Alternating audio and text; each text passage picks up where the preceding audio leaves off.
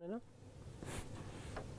hello dear students welcome to wifi study J a part of fun academy जैसा कि आप लोगों को पता है कि मैं मॉर्निंग में पाँच बजे एक सेशन लेके आता हूँ, रोज जिसमें आपको मैं एक टिप देता हूँ, एक बहुत ही इंपॉर्टेंट फैक्ट या इन्फॉर्मेशन मैं आपको समझाता हूँ।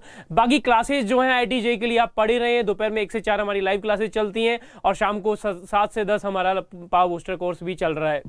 इस संडे को मैं एक स्पेशल सेशन आप लोगों के लिए लेके आ रहा हूँ। मेगा क्लास होगी हाइड्रोकार्बन पे। केमिस्ट्री का सबसे बड़ा चैप्टर होता है हाइड्रोकार्बन और ऑर्गेनिक केमिस्ट्री में बहुत ज़्यादा वेटेज भी है उसका, क्योंकि बाकी चैप्टर्स उसकी रिएक्शंस किए बिना नहीं सीख सकते हैं।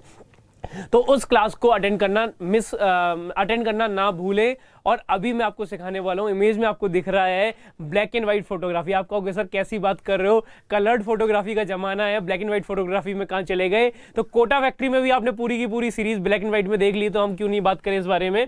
तो एक लड़की फ़ोटो क्लिक कर रही है जो कैमरा ये ब्लैक एंड व्हाइट कैमरा नहीं है, ये कैमरा जो है ब्लैक एंड व्हाइट दिख ज़रूर रहा है, पर ये कलर डीएसएलआर है कलर फ़ोटो क्लिक करता है ये।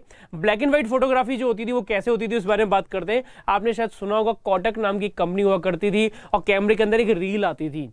आपने शायद देखा होगा जब मूवी स्टार्ट होती है तो कुछ फिल्म्स जो है वहाँ पे दिखाते हैं तो वो जो रील होती है फ़िल्म जिसको हम बोलते हैं वो फ़िल्म उसके अंदर लगी होती थी और वो काम कैसे करता था। इसका जो फंडा होता था वो ये होता था कि जैसे ही फ्लैश होगा शटर ओपन होगा कैमरे का लाइट जो है उस फ़िल्म के ऊपर आएगी और उस वहाँ पर क्या होगा आ, लाइट जैसी वहाँ पर आएगी तो वो जो मटीरियल है वो क्या होना चाहिए फ़ोटो सेंसिटिव होना चाहिए ताकि वहाँ पर एक कॉन्ट्रास्ट डेवलप हो जाए और वहाँ पर एक इमेज क्रिएट हो जाए और उस इमेज को जो है आप बाद के प्रोसीजर से क्या करते हैं क्रिएट कर लेते हैं एक फोटोग्राफ की फॉर्म के अंदर। हो सकता है आपके किसी के घर में हो, चार सौ निन्यानवे रुपए वाला वो कॉटक कैमरा जिसे फोटोग्राफ्स क्लियर फोटोग्राफ्स खींचे जाते थे और उसमें रील लगा करती थी। बहुत महँगे महँगे वो आया करते थे किसी ज़माने में। अगर आपके पास है तो ज़रूर कमेंट करके ज़रूर बताना। अब इंपॉर्टेंट चीज़ ये कि वो फ़ोटो सेंसिटिव मटेरियल कौन सा काम में लिया जाता है? आप लोगों ने जो है नाम सुना होगा ए जी काम में लिया जाता है। क्या काम में लिया जाता है?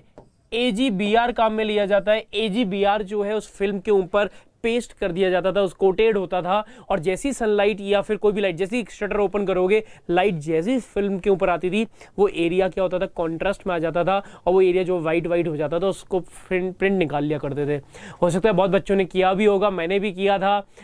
शादियों में जब फ़ोटो क्लिक कर रहा था मैं मेरी सिस्टर की शादी में तो कैमरे के शटर जो ऐसे एक्सपेरिमेंटली पता नहीं था क्या होता है तो शटर पीछे से ओपन कर दिया था, जहाँ से रील को वहाँ पे लगाते थे सेट करते थे। तो क्या वो जितने भी फोटोग्राफ्स थे, सारे के सारे वाइट हो गए। हो सकता है आप लोगों ने भी ऐसा किया होगा। तो क्यों होता था? वो होता था एजीबीआर की वजह से, क्योंकि एजीबीआर जो होता है, ये फ़ोटो सेंसिटिव होता है। क्या होता है? फ़ोटो सेंसिटिव होता है। ये फ़ोटो सेंसिटिव होता है। जैसी सनलाइट इस पर पड़ती है, ये ब्रेक हो जाता है। और हाई कॉन्ट्रास्ट वहाँ पे शो कर देता है। और उसकी वजह से क्या होता है इमेज क्रिएट हो पाती हैं। ये इसका पूरा का पूरा फंडा होता है। मेन फंडा जो है वो क्या है, ये मटेरियल का फ़ोटो सेंसिटिव होना। उम्मीद है ये इन्फॉर्मेशन आपके बड़े अच्छे से समझ में आई होगी। और अगर आपके पास वो कैमरा है तो आज आप कैमरा निकाल के चेक करके ज़रूर देखेंगे कि एजीबीआर कैसा फ़ोटो सेंसिटिव होता है, नहीं होता है।